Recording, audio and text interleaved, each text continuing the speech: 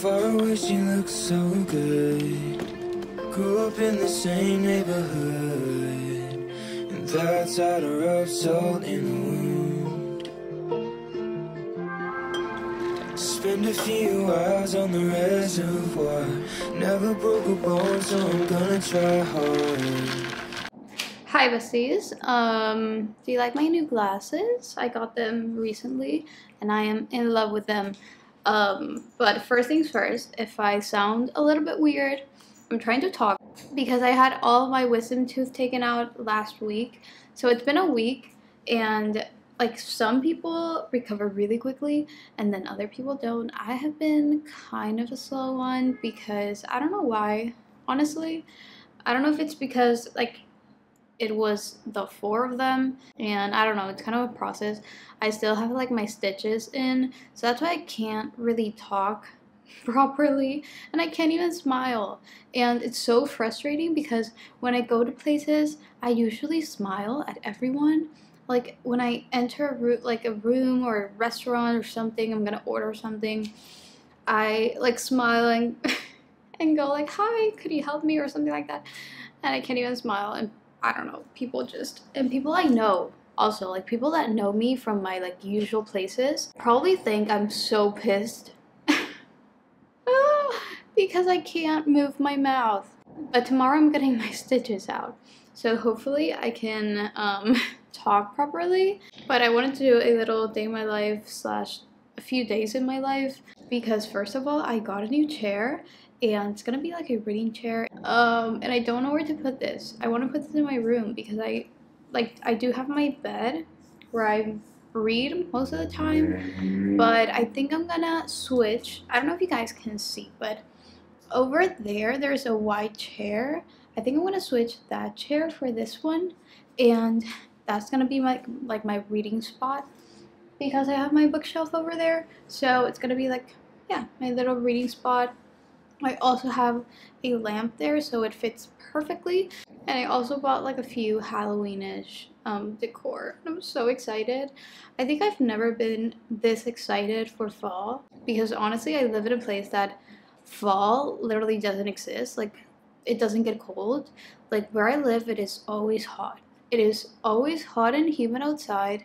If I, I don't know if I'm gonna post this video after I think I want to post this video after the book haul, but you guys, I bought, I bought so many fall books. Insane.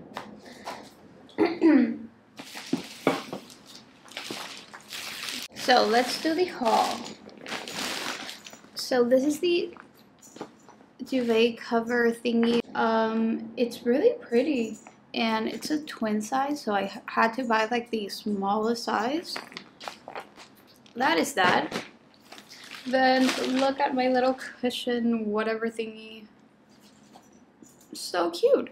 I bought a mug, like a gigantic mug, and a mini plate, but it's fall. But it's like Halloween slash fall vibes. Look! Mini goes with like the, the Halloween candies. These were my favorite candies. Most of the plates that I use are that small, so it was perfect.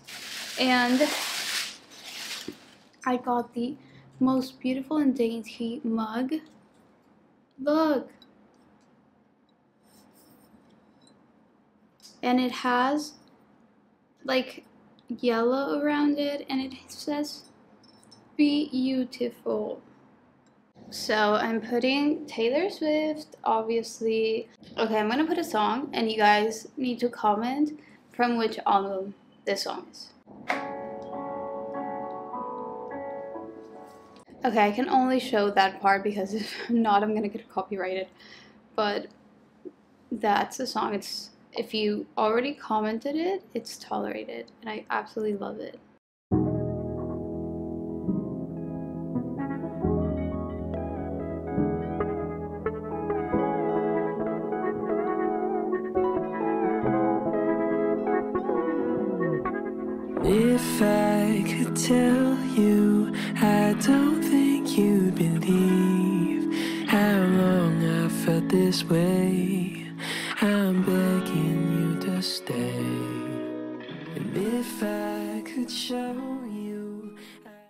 Let's have a little chat um, while I do this. So, life updates, you guys.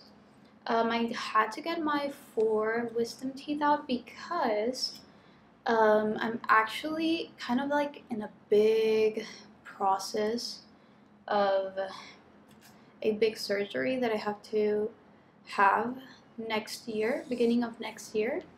Um, I'm gonna be I'm gonna be having um, jaw surgery. I've had a lot of problems with my jaw for years at this point, a lot of years, almost five years, and it's really it's been really just frustrating. But I think I finally kind of have like a solution, and it is jaw surgery, which is pretty major surgery. Um, so I had to take my four wisdom teeth out to get the surgery. I'm gonna be doing Invisalign for about five, six months. Then I have to get braces, so that is so fun. I'm not excited about that, but I have to get braces for the surgery because after the surgery, I have to have braces for at least a month and a half. So I'm telling you guys all this because I don't know what I'm gonna do with posting and stuff next year when I have to have the surgery, but I hope I can document it for you guys and maybe help other people who have to go through this because it's gonna be a long journey. So this was step number one, and it's it's been going well. If I could tell you,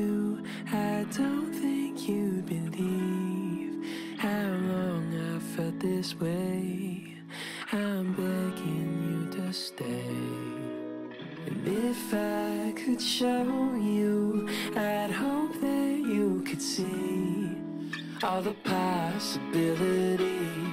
There could be a place for you and me. And under the stars,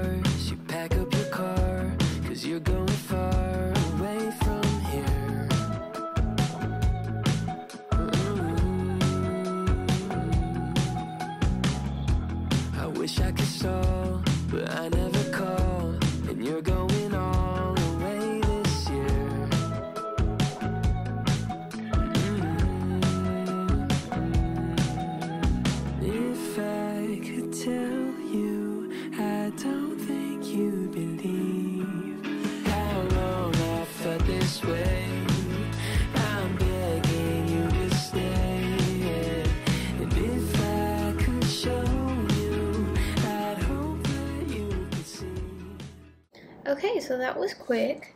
Um, I decided to put it on this little corner here in my room because I never have use for this corner. Um, honestly, what I'm gonna do for the rest of the afternoon, not rest of the afternoon, but like pretty much majority of my afternoon is read this book because I am doing the TBR series once again, you guys, and I'm doing a mini vlog for each book, but now over on my TikTok. I feel like it's um, more doable. So I'm gonna start reading Kiss Her Once for Me by Alison Cochrun. And actually, I think this is kind of like a New Year's, like Christmas slash New Year's kind of thing. But I don't care, I'm, I'm gonna read it anyways. I'm using my own bookmark that I made out of clay and I love it. Okay, so a little update on the book. I'm on page 46 and basically this is okay, how do I explain this? And the story starts with kind of like a prologue at the beginning and it's kind of like a backstory to the actual story. So the story starts with like last Christmas because Ellie met this like girl, this gorgeous girl, um, Christmas Eve, and they spent the entire day together. And basically, Ellie kind of fell in love with her from one day being with her, but quickly the next day got heartbroken because of an unknown reason that I don't know yet. But basically, she got heartbroken because she was like in love with this person. So one year later, the actual story starts, and Ellie's life is like falling apart. She hates her job, she hates her life, um, she's gonna get like evicted. She's like she's struggling, right? And then comes Andrew. And like from what I already read in the back of the book, I knew that this book was gonna be a marriage of convenience. So I'm guessing that Ellie's gonna marry um, Andrew out of convenience. So well, let's see how it goes. But I'm actually really liking it. Like I love their personalities, um, and it's really funny as well.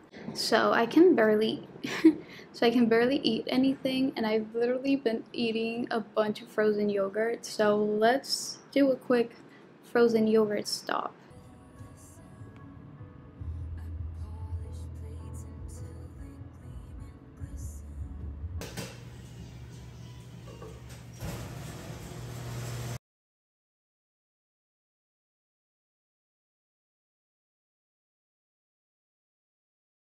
I'm gonna take off my makeup because it's like 5 p.m. and I've had this for so long and it feels yucky. But I used to take off my makeup with the e.l.f. cleansing balm and it was the best thing ever but I stopped using it because it didn't have the best ingredients and I think it was breaking me out too so I switched to the Oat Cleansing Balm by the INKEY List, which is honestly like a great alternative because it's not that expensive. So if you want like a more affordable option, I think this one is very good. I did try the um, Versed one by the brand Versed, their cleansing balm, and I have to say, like I had, I, that was so hyped up for me. I was so excited to use it, and oh my gosh, when I like rubbed the cleansing balm over my eyes, like to take off the mascara, which I do for every, which I do with every single cleansing balm. It burned my eyes so badly. Like, I don't know, it has like a very strong scent. So that was immediately a no. So I've been using this one instead. And I do like it, but I do want to find another one that I like a little bit more.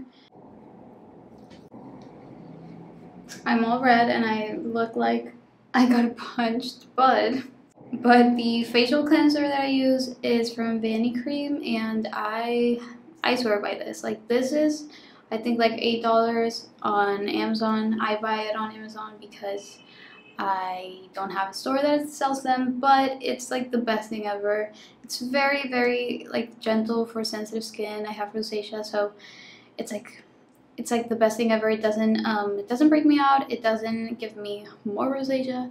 Um, it doesn't burn my skin. Look, you guys can see the bruising from the wisdom teeth removal.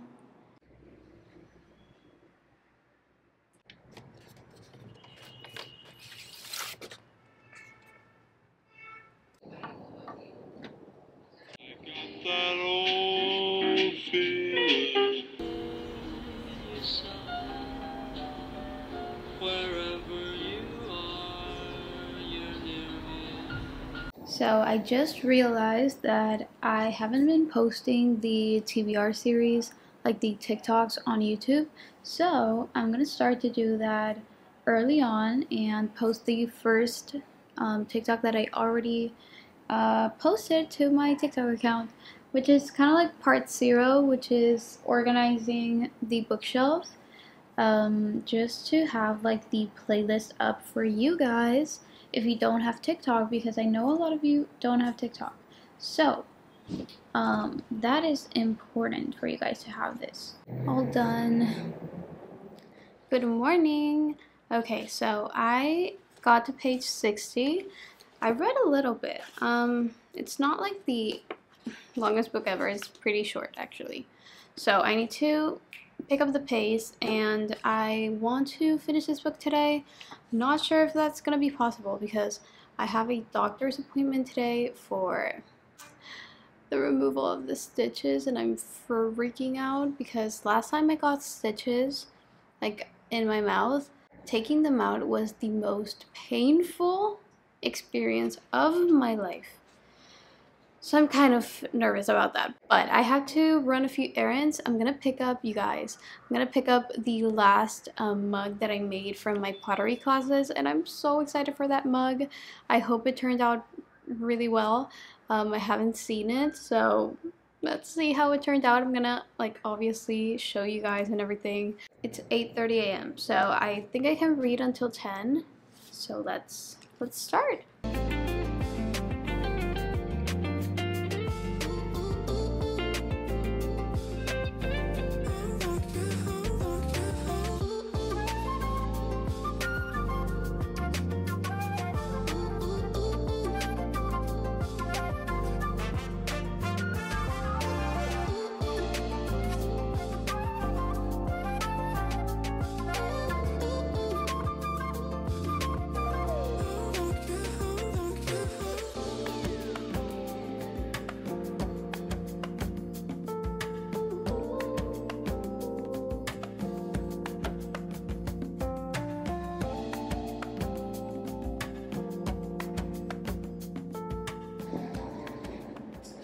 Hello.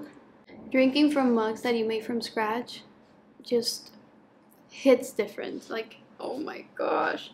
It's like precious. Like, I treat these mugs with so much care. Let's do a little haul of the things that I got for fall decorations. I tend to go overboard with the things that I buy, so I stuck to three things. You guys need to be proud of me. Okay, so I had this vision, right? I have this vision of like decorating the little corner and a little bit of my bed and making my room feel a little bit more cozy. I bought a placemat, but I'm not actually going to use it as a placemat. I'm gonna use it as decoration and you guys need to see this. It's so cute. And the back is orange. So if I get like bored of the design, I can use the orange and I thought it was so cute and I'm gonna use it um, kind of like as, I don't know, like a tablecloth. And on top of that, I bought a light, but it's not a regular light. It's shaped like a pumpkin. Look, it's a pumpkin light. Look! Oh my. I'm obsessed. I am obsessed. Oh my gosh, that's so cute. And I had to get a pillow, but I didn't get just any pillow, you guys. I got the cutest pillow you have ever seen. Um, and if you remember yesterday, this is pop quiz. If you remember yesterday, what a candy did I say was my favorite one in Halloween?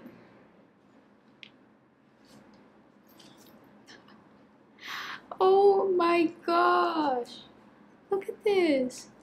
It's a little bad, but it's the candy. I desperately want to be in a place where fall is an actual season. Half bad. This. That is adorable.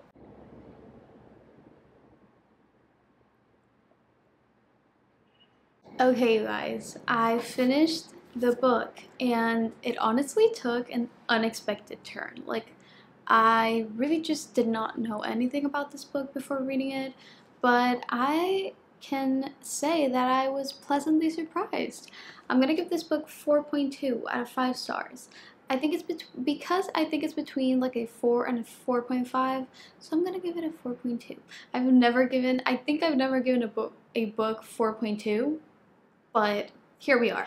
Um, also, great news, I got my stitches out. So I can smile a little bit now. It still kind of hurts, so I, I'm not going to do it often. Um, but I can talk, so that's exciting. So, let's do a little wrap up of this. I'm not going to give you guys any spoilers because, to be honest, when I read this book, I didn't even read um, the entire synopsis in the back of the book and I'm so glad I didn't because I got so many plot twists and like like surprises and it was fun. So basically, as I, I don't remember if I said this, but this book is about Ellie and Ellie, the story starts with kind of like last Christmas with a story of Ellie meeting this girl this girl that she met at a bookstore and they spend the whole day together which was Christmas Eve and they spent like Christmas together. But then something happened. They have a one night stand. Um, this is Ellie and Jack. That's the girl's name. And they have a one night stand and then something happens the next day and it all falls apart and they basically get heartbroken out of a very big miscommunication. So fast forward to Ellie um, a year later, her life is literally falling apart. She cannot hold a job. She actually almost loses a job that she has. And this guy, this guy that comes kind of out of nowhere, suggests a like fake marriage, a marriage of convenience. Because in order to access his trust fund, um, from a will of his grandfather, he needs to marry. He needs to get married. So he proposes this to Ellie, and they are basically like gonna get married for that, and she's gonna get a percentage of the will. So one of the rules was that Ellie had to accompany um, Andrew, that's the guy's name, to his family's cabin for Christmas, for the entire Christmas. So it was like eight days, and so much things happen. I'm just gonna say that. So much things happen. I'm not gonna say anything else because I don't want to spoil that plot twist that for me was kind of a plot twist and it was very fun. Um, and but what you do need to know is that it is a second chance romance with the girl at the beginning of the story. I'm not gonna tell you how, but it's a second chance romance, and I absolutely loved it. I did get a little bit annoyed at some point because I was getting a bit tired of the miscommunication trope, but at the end it was cute. I liked it. So would I recommend it? Yeah, I think I would. And I'm gonna finish the vlog here so I can have this video up for you guys as soon as possible. I love you guys so much. Thank you for watching. Make sure to subscribe down below and turn on the notification bell so you get notified when I upload more videos. And I will see you in my next one. Bye. Love you.